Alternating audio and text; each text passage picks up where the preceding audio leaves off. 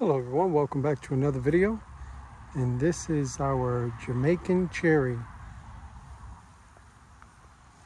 Also goes by the name strawberry tree. And there's actually a fruit on here. There it is.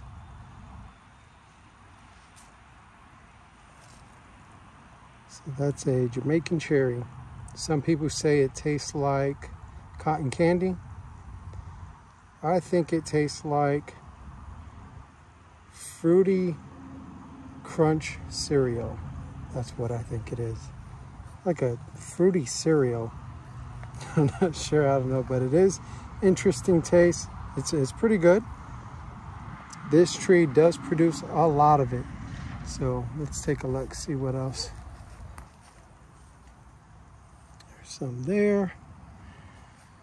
This is why they call it strawberry tree. So the flowers look like strawberry flowers. So there's some uh, fruit. Still developing. Gonna go ahead and taste this one now. Mm-hmm. Really good. It's pretty cool. It tastes like a fruity cereal to me. I don't know.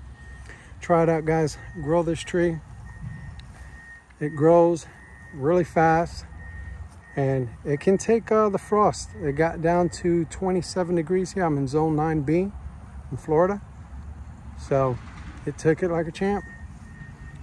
All right, guys, I'll see you on the next one.